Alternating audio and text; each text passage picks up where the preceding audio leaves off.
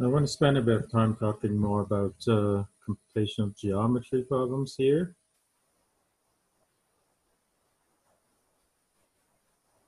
Hang on. All right. So um, we talked about lines and points, and I want to bring together these two uh, concepts into a problem. It's called lining up in um, the UVA 270 is the problem. So you're given a bunch of points, n of them, and you want to find the biggest subset of points that are collinear, or in other words, you want to find a line that covers all as many points as possible, right? So how does it, how do you solve this problem?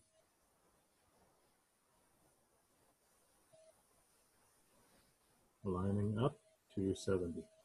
So you're going to have a bunch of points right? If they're all on a line to begin with, then of course you just draw a line and that's it. But of course the problem is they're not always on a line and you have to figure out which line contains the most number of points. So for example here, maybe, if I can draw a straight line, this is the best line. Okay, let's imagine that's a straight line. Or maybe not. Now, we know that every line is defined by two points. So one of the things that we can do by brute force, I guess, is to look at all possible n square or and choose two pairs of points, right, and choose two. And for each pair of points, we can draw the line that defines that, that's defined by those two points. And we can just draw that. And then we can ask for each of the other points, is that point on the line? So we can ask, is this point on the line? No, is this point on the line? Is this point on the line? Is this point on the line? This point, this point, and so on. And there are a number of ways you can check whether something is on a line or not. And one of them, uh, if you look at the code library, there's something called distance to a lot of a point or line. And if the distance is zero, then of course that means um, it is indeed on the line. But there are other ways you can do that. If you were to do it this way, you have n squared lines to check. And for each line, you need to check every point. So altogether, it's n cubed time, which for this problem is not good enough. Okay? So how do we do this instead? How do we do it faster?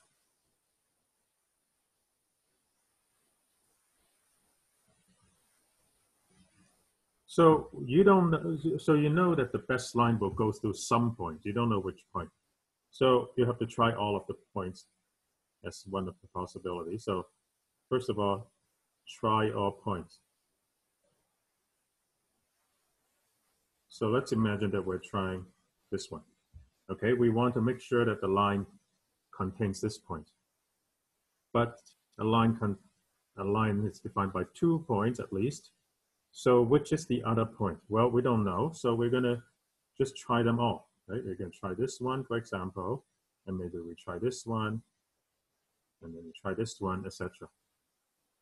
Okay, and you might say, well, how is that different from before? Because you have n points for each point, you try all the other points, so that's n squared already. That's no good. However, if you can sort your points by slope, Okay, so we're going to look at uh, this line. This is a positive x-axis. And we're going to sort things by kind of the angle, the rotation that you need, right?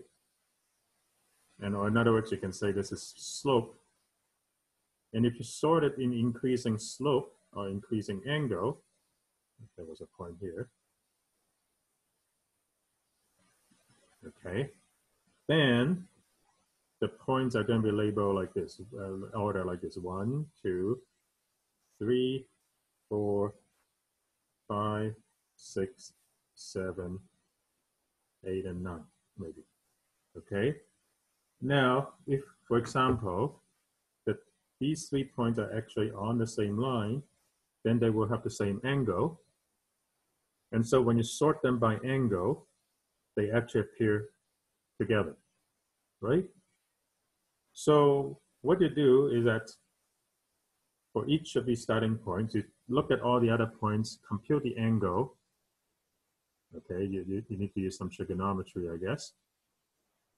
And you can sort things by angle. And sorting takes n log n time.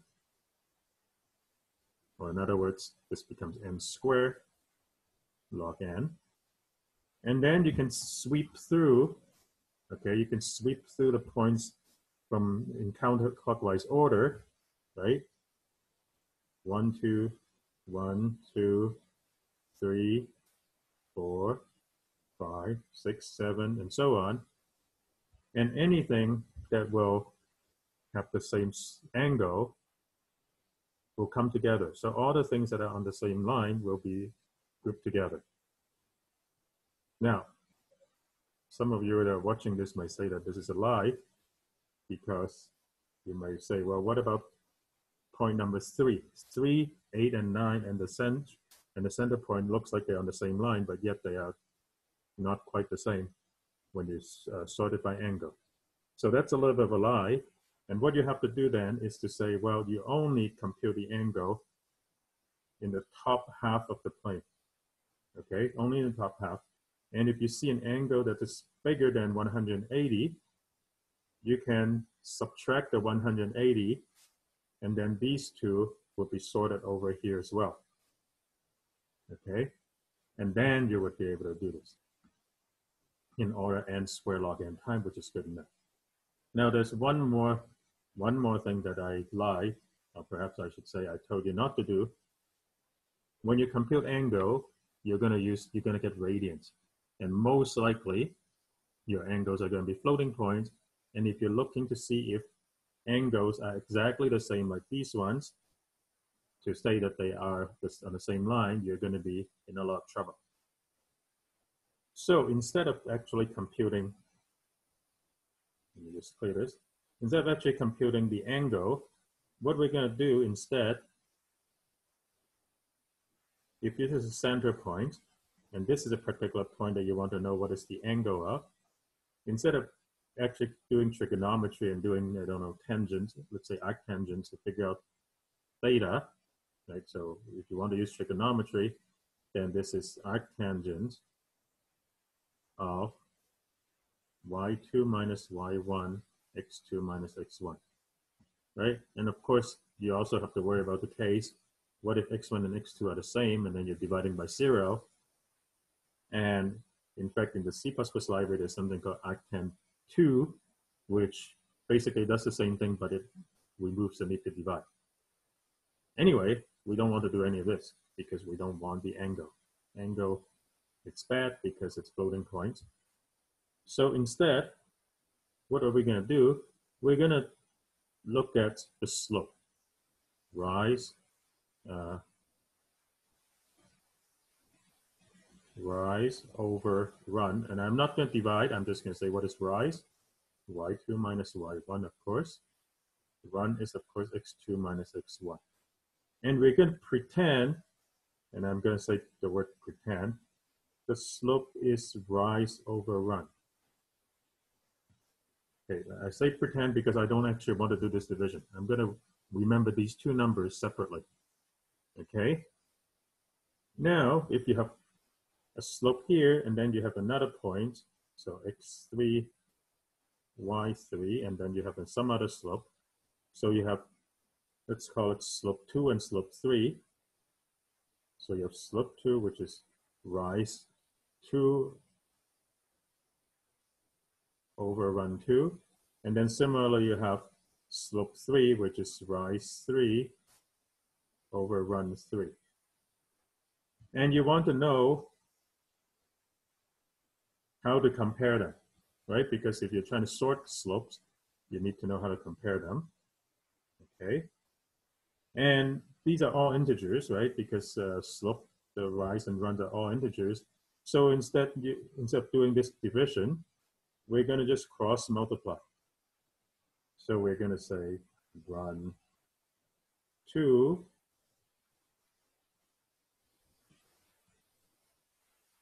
and then we're going to times run 3. And if you do cross multiply, everything's still in integers, everything is exact. And you have to, you do have to worry about whether when you cross multiply by run, are these somehow negative, right? So because if you multiply and you get negative numbers, then this inequality has to flip, right? So you, I'll just say that you have to make sure, okay? That's all I'm gonna say. And you can, you have to flip appropriately if needed. And then you might say, well, okay, when, when is the case where slope fails? Slope fails when you have a vertical line. And vertical line means that rise is, uh, well, perhaps I should say rise is non-zero, but run, it's zero. And if you do a normal slope, try to divide by zero, it's gonna give you a big headache. But it turns out that this formula, in fact, actually would work even if you have vertical or horizontal line. So in fact, this is a much better way of dealing with this, um, dealing with the angle and sorting by angle.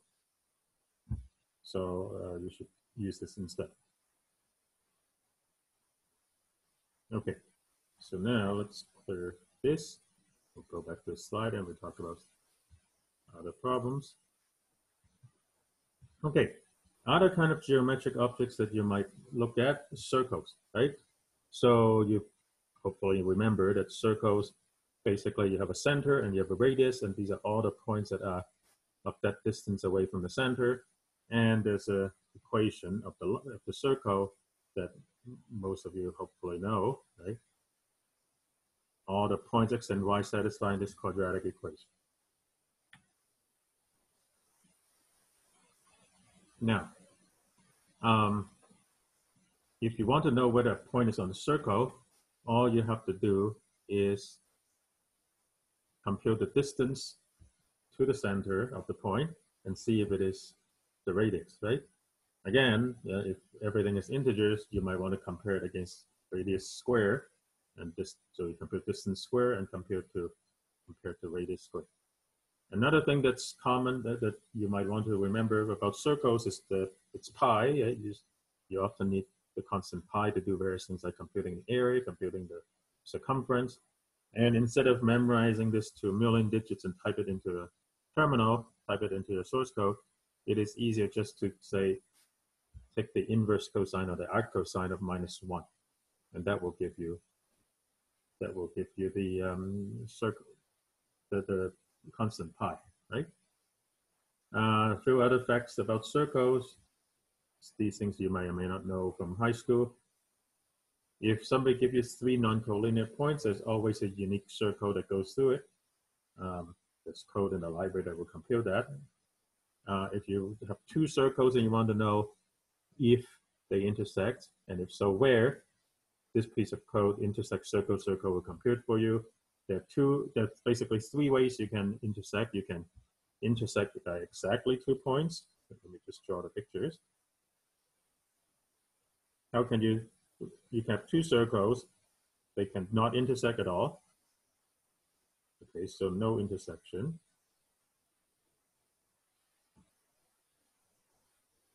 Okay, but there's also another way, no, I can spell intersection. There's and also another way that uh, there can be no intersection, and that's if one circle is within another. Okay, that does not count as intersection. It could be that there are two intersections.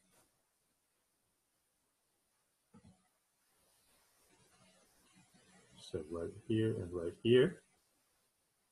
It can also be exactly one intersection. So it could be that they just touch okay, tangentially, and then there's only one intersection.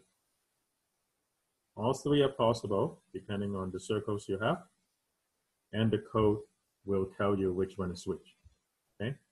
And the circles, of course, again, defined by the center and the radius. Many of these problems can be solved by basically solving equations, quadratic equations. And if you look at the code, uh, a lot of it is basically like that. Okay, another problem that uh, uh, on UVA bounding box. Uh, so you're given three vertices of an n-sided regular polygon, find the smallest rectangle that encloses the polygon. Okay, so what does that mean? Okay, let me let me actually maybe load up this problem.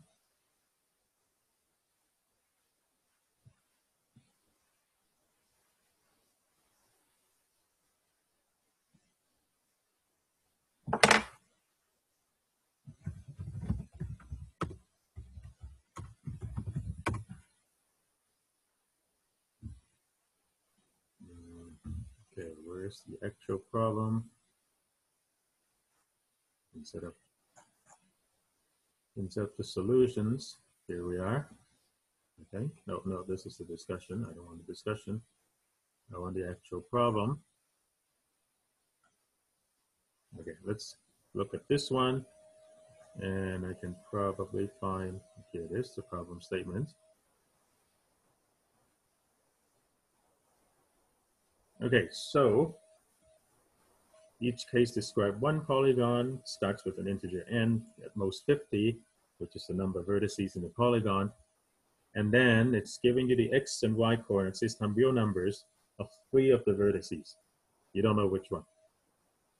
Okay, and then you are supposed to output one line in the format shown below, given the smallest area, uh, given the smallest area of a rectangle that can cover all the vertices of the polygon whose sides are parallel to x and y. Okay, so there's actually a lot of good things going on here.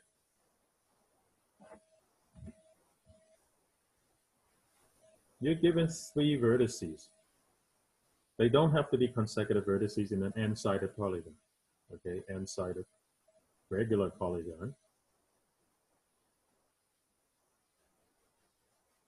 So you have to figure out a box, the smallest rectangular box that enclose the polygon. Okay, so we need a few facts actually. The fact that it's not three consecutive and causes a little bit of problem. So if you look, if you have n equals to four, of course, a regular polygon is the square. Okay, pretend that's a square. Or if n is five, it's a pentagon. Okay, again, pretend that all of these are regular meanings that all the angles are the same, all the sides are the same, hexagon, and so on. One of the things that you have to know, I suppose, is that in a regular polygon, there's a center in the polygon so that the distance from the center to every single vertex is the same. Now, when have we seen it before? When have we seen before a situation where you have a center and you have the same distance to a bunch of stuff? That's exactly what the definition of circle is. So in other words, the vertices of a regular polygon actually fit inside a circle. Right? Okay, I'm not showing this very nicely, but that's kind of the idea. All of them, all the polygons, vertices, fall in a circle. That's a regular polygon. Okay, so now our goal is to actually figure out what the circle is. But you're given three points. Well, we just said that if you have three points that are non-collinear, you can figure out where the center of the circle is. So that's step one. Okay. So step one is to find the center of the circle and of course also the radius of the circle. Okay, what's step two? Once you have the radius of the circle and you have one point, take any point that they gave you. How do you get the rest? Well, you can rotate it by theta degrees, where theta is 360 degrees, divided by n, right? If you have a five-sided polygon, then you rotate that point about the origin, the origin being the center of the circle, right? By 360 divided by n. And we already talked about last time how you rotate a point. And so you just rotate it all, and that's all you need to do for this problem. So the key point actually is to first realize that you need to compute the circle. Okay, once you figure out, oh, I guess I didn't completely answer the question, right? It says find the smallest rectangle that works. Well, once you have all the points in the polygon, then you just look at the minimum x and the largest x value, and that will tell you how far to the left and how far to the right you have to go. And you look at the minimum y and maximum y, and that tells you how far up and down you have to go for this rectangle. Now, another problem, another common object is triangle.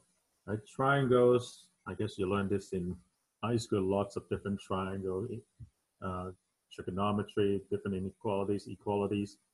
All of these you have to know. I guess they can come up anytime.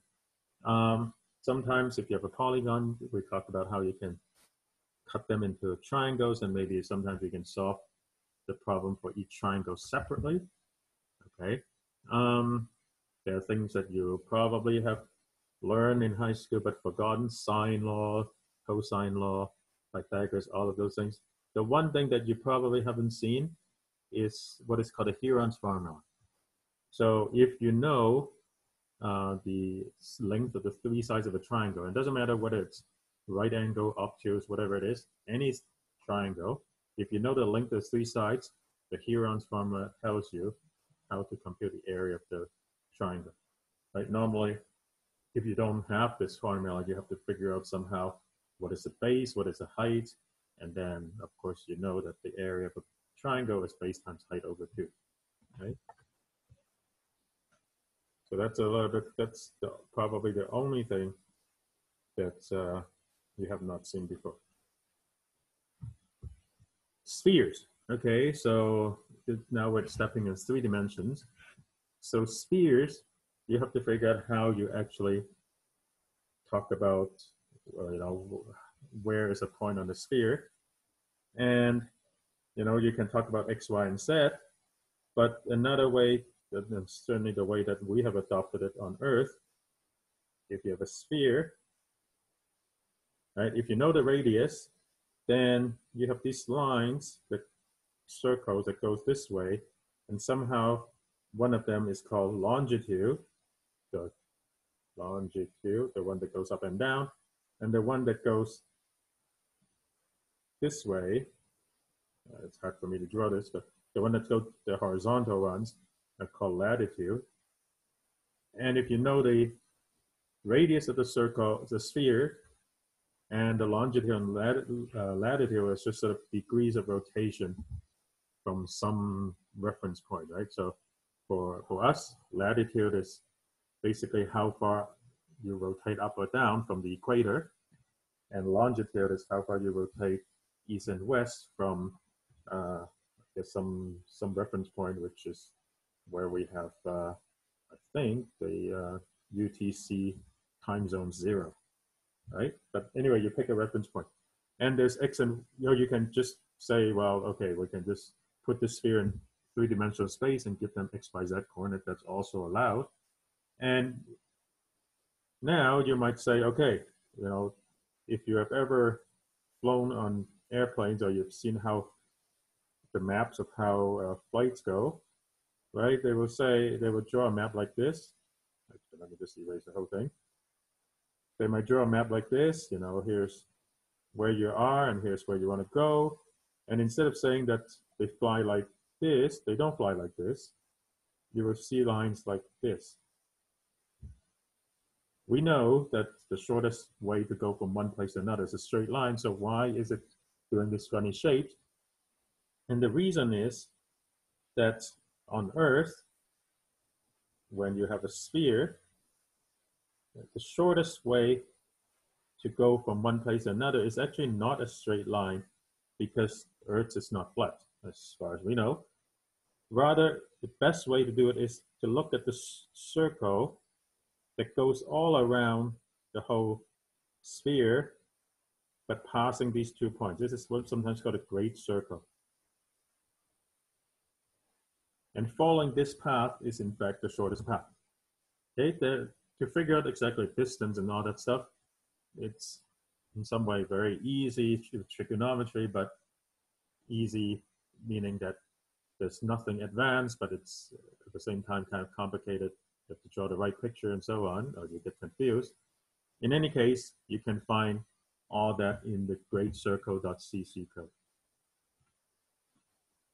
Okay, one final thing that I want to talk about, one final object is polygons, right? Polygon is just basically any shape that's enclosed, usually not self-intersecting.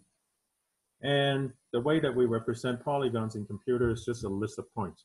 These list of points are vertices, and we usually give them in counterclockwise order, okay? So what does that mean? So we'll give, let's imagine that I have this shape. Okay, the vertices are here. These are the XY points. And I will give them some order. So I will give them in an array. Maybe I give this one first, then next. So I'm using one base. So there's six vertices here.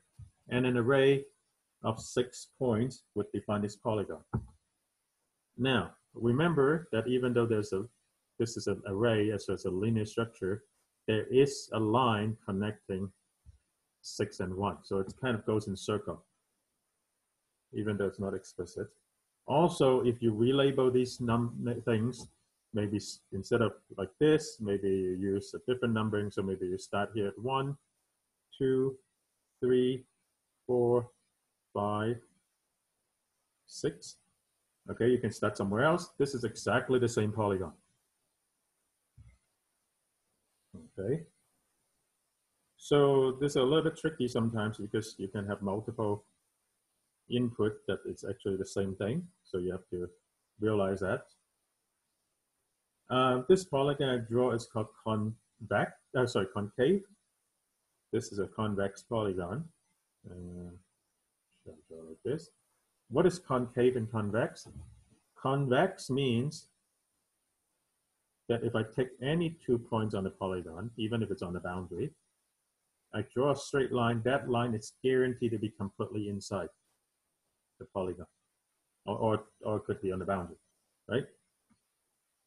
On the other hand, the one on the left is not convex because there are some points here. I can find a pair of points so that if I draw the line, right, this line does not stay within. So another way to think about it is if you have a convex polygon and you want to install security camera so that, and then let's say you can, it's allowed to spin around. A convex polygon can install a camera anywhere in this polygon and it will be able to see every single point in the, of the polygon as it spins. On the other hand, in a concave polygon, if I were to install my camera right here, there will be some places that it can never see, right? So for example, this point it can never see. Many problems are much easier to do if the polygon is convex. If the polygon is concave, sometimes it's really hard. So for the most part, we will only look at convex uh, polygons.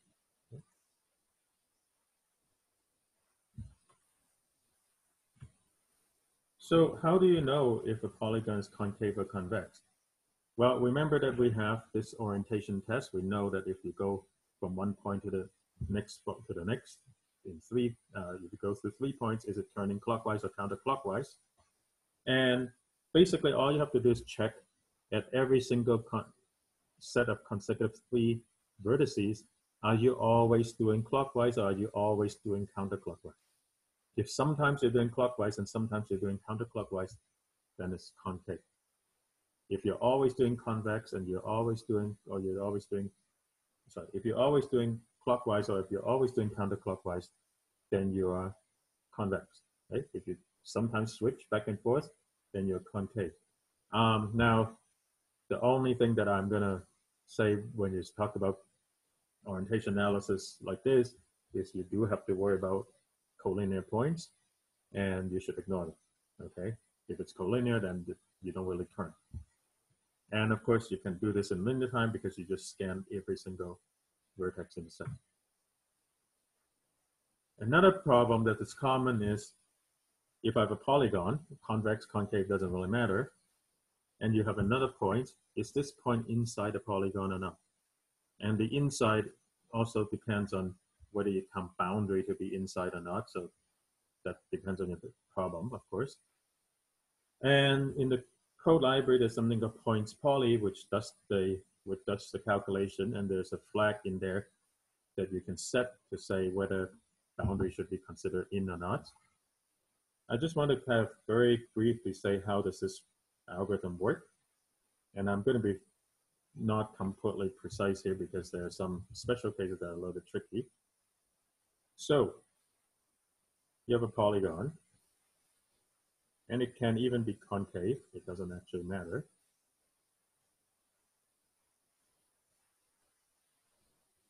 And you have a point. So let's put a few different points. Some points are inside, some points are outside. And we want to know whether this polygon, uh, whether each of these points, let me put this a little bit further here. You want to know whether each of these points are inside the polygon or not. And what you do is you just draw a line straight up from each of these points.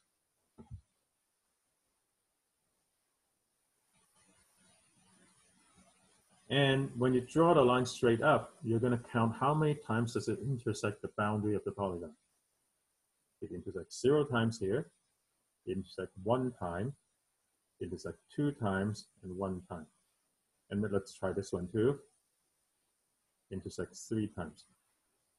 And you can see that if you're outside, either you don't intersect at all, meaning that you never stepped in, or you cross once and, and then again, or if you're here and you cross four times, basically you step in and step out and step in and step out. You'll, if it's even, you will always eventually step out of the of the um, polygon. Right? Uh, in other words, if you read the intersection points from top down, right? You're going in, you're going in here, and then you never step out. That's the odd case. Here, you go in, step out, maybe it's a different color. Here you step in, you don't get out. Here you step in, get out, step in, get out again. Step in, get out, step in, and you don't get out. And so basically, if the number of times you cross the polygon is even, that means at the end you're outside, right? If it's some, it's the number is odd, then you're inside. Now, there are a whole pile of problems that you have to worry about. Okay, so this is what I wrote here. It's kind of correct, but actually I'll clear the whole thing. I'll just draw another picture. Uh,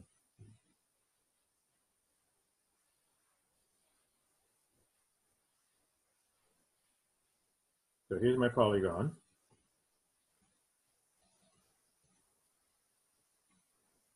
depending on how you count the number of intersection,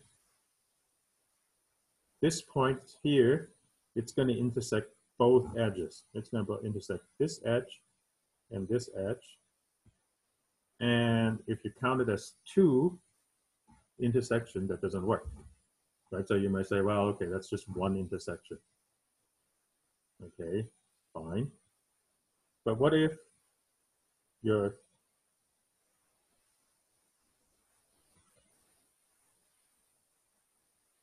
Um, how should do this?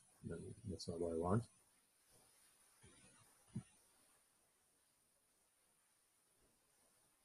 Polygon like this.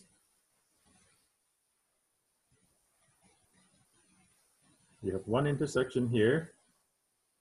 Do you want to count this second one as one or two? If you count it as one, then your nut count will be even, and then you say, well, I'm out because now you have two. But if you count as two, then you're good. So sometimes here, you want to count this as one. Here, you want to count as two. And it actually depends on, I guess, whether that angle is somehow concave or convex. There are other funny situations. Okay, what is another situation? Oops, different color.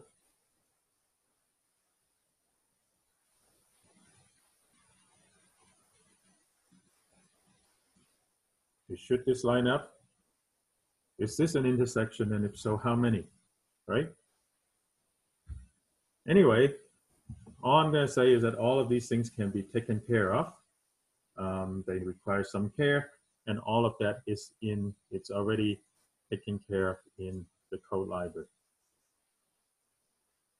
What I really want to say is, unless you're doing something that's, unless you're really confident with what you're doing, unless you're doing something that's not part of the standard library, you should never try to reinvent the wheel. You should always use, try to reduce your problem to one of the standard routines.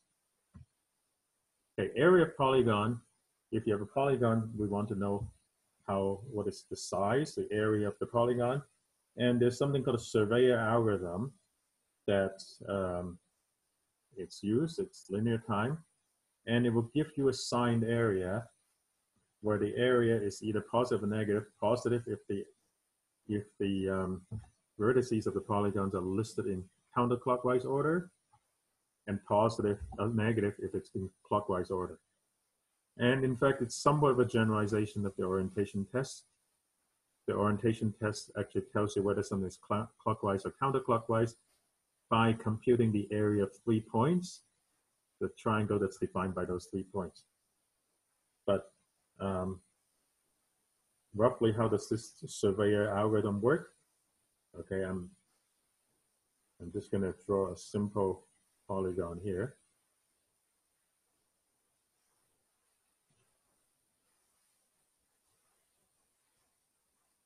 If you pretend that you just look this way, okay?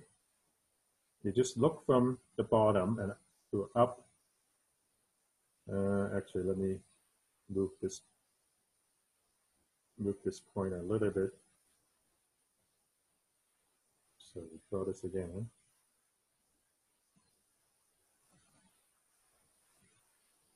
Okay, so we have a line that goes from the bottom to each of the vertices. And we look at this in counterclockwise order, so going this way. And we look at, first of all, this edge, and that will give you this trapezoid. You can figure out the area of this trapezoid. Okay, now this is not, of course, the area of the polygon because it includes parts that are outside. And then, what do you do? And then you look at this edge, and when you compute the area, you'll get this trapezoid. And then you look at this edge, you'll get this trapezoid. You look at this edge, you'll look at this trapezoid, and so on. And then when you go look at this edge, you'll get the area of this big trapezoid. Now, when you're moving from right to left, the green arrows, all the areas of the trapezoid will be of one sign, and we'll say that these are positive. When you're moving from left to right, the red arrows, it'll be negative. So what happened is that the areas that are outside the polygon, they are counted by the green, but then they're subtracted by the red. So the net contribution, the that part, it's zero my eraser doesn't work the way that I think it should. And at the end of the day, all you're left is this area, the area that you really want. And that's how the surveyor's algorithm works roughly. Okay, if you don't want to know how it works, that's fine. You can just use what it's in the code library. And the last major topic is called the convex hull. Okay, given a set of endpoints, find the smallest convex polygon that contains those points. It's also the polygon of smallest parameter that contains these points. So the easiest way to visualize this is to imagine that I have a bunch of 2D points in the plane. But instead of points, imagine that there are little sticks that are sticking out of the table, of the screen. Okay, they're little sticks.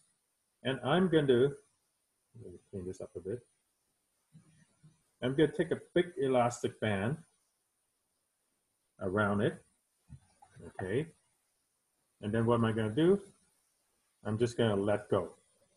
I'm going to let go. It goes snap, and it's going to snap into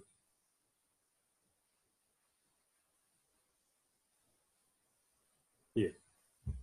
Okay, that's my convex hull. This is smallest convex polygon.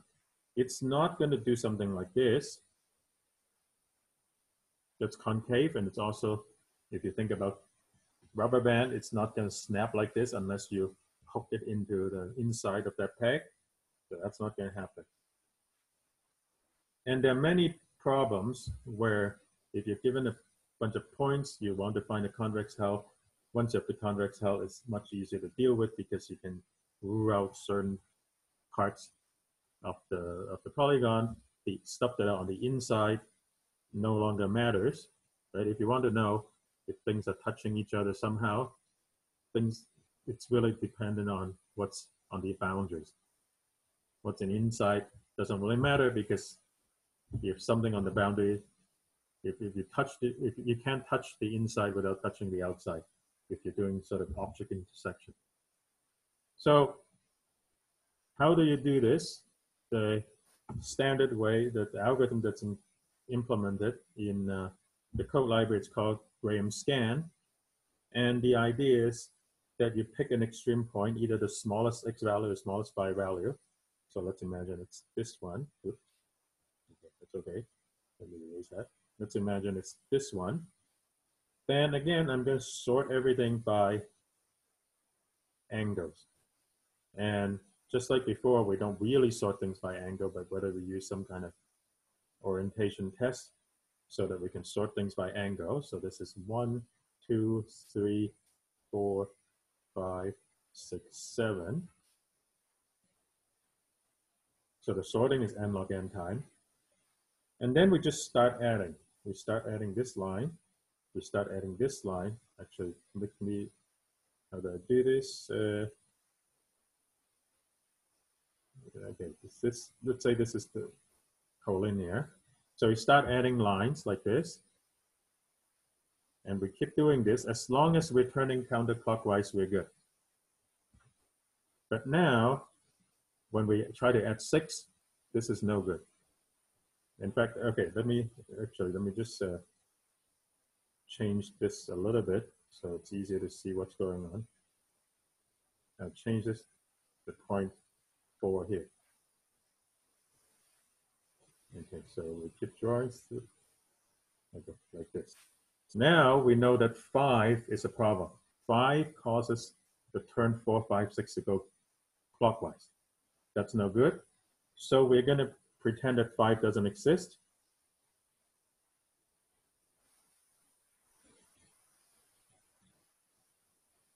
And we'll do this like this. Okay, we'll skip over five and just connect four to six. But this, if I draw this right, okay, let me draw this a little bit, let me draw this a little bit better.